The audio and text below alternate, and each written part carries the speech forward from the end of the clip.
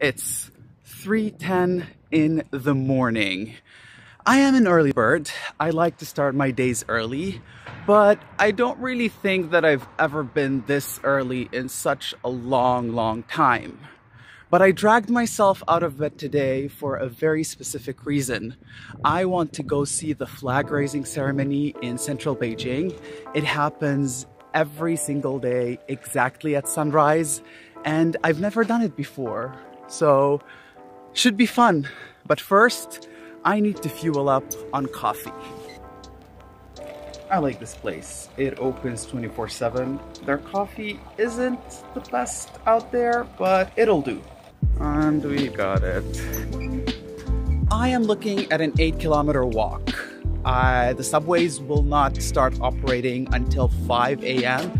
and I need to be at the square at 5 in the morning because the ceremony today is taking place at around 5.30 and I really want to reserve a good spot. I think it would be nice to see Beijing so early in the morning. It's not something that you get to see a lot. It is extremely quiet. That's the central business district right there. Oh, and the moon over there. Oh my god, you could literally walk in the middle of the street right now. No cars. No cars. No cars. No cars. There is no one on the street. How interesting and unusual of Beijing.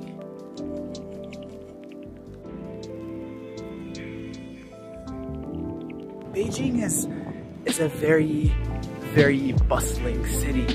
And you'd think that in some quarters there would be a little bit of action happening even at this time of the day. But nope. Nope. Everyone is still asleep except me. Huh. Look at this flickering lights. This is horrific this tunnel goes right under train tracks and it's a shortcut. This is something out of a horror movie. Looks like I'm blinking a lot.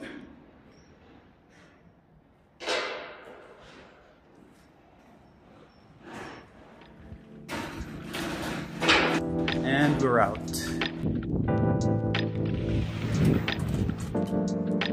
A nice view. All the reflected shimmering lights.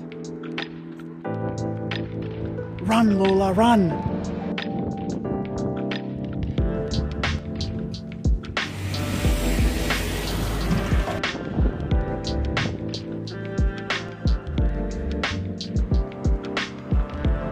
And here's my light.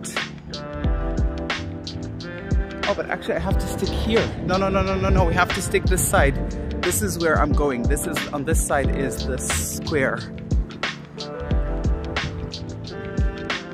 It's been so good so far and I'm really enjoying it. The only form of life that I've seen are garbage truck drivers, delivery men, a few runners and basically like this is the crowd of early morning Beijing and it's just it's interesting. You see the city in a different way and it just gives you a, a different form of appreciation to this to the city. So the sign says Tiananmen two kilometers so we're approaching our destination. We're getting there. So exciting. The first buses have started to operate. Construction workers tending to the road. The city is surely but slowly waking up. It is 5.11 and I was able to make it right on time. I think there's still 10-15 more minutes left to go, but there are a lot of people. You could see them right in the background. 你好。早上好。That's the flagpole. You can see that there are no flags on it, but that is going to change very, very soon. I mean, it's a sizable crowd, but it doesn't compare to certain special occasions like National Day or the first day of the year when tens of thousands of people would come in. The sun like slowly rising in the horizon, but also you could see where is it? The moon as well. And we're now just waiting for the big moment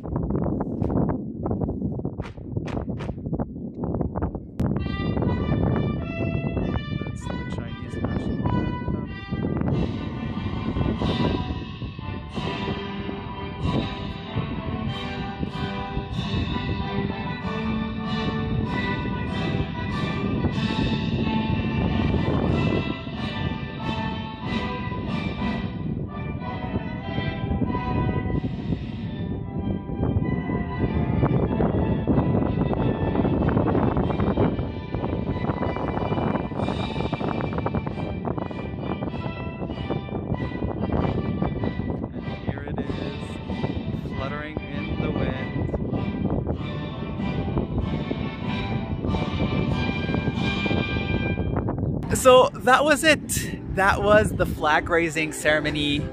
The flag is already up there. It has been unfurled and it is fluttering in the wind. It will stay there until the afternoon because then there's going to be another ceremony, the flag lowering ceremony exactly at sunset where they would bring it down. And from what I understand, every single day they change the flag. So this flag here, tomorrow it will be a different one and they have these serial numbers um, to designate each flag. Even though the ceremony itself is only a few minutes, it's interesting that everyone, first of all, everyone is silent. Like you could drop a pin and you would hear it.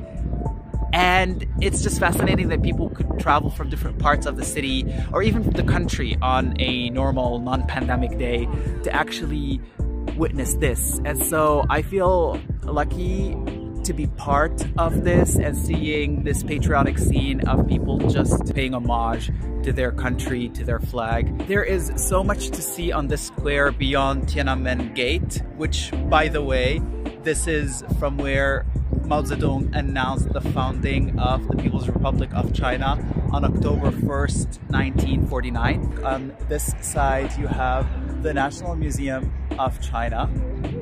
On this side, you have the Great Hall of the People, which is where government activities, events, meetings take place. And here you see the mausoleum of Mao Zedong, where his body is laid to rest. It's been a very, very productive day, I would say. And the day hasn't even started for the majority of people in Beijing. Beijing is up. There are more people on the street, more cars on the road, the birds are out, the sun is out, and it's only a matter of time before the city is drowned in noise. But it was interesting to see Beijing in a different light.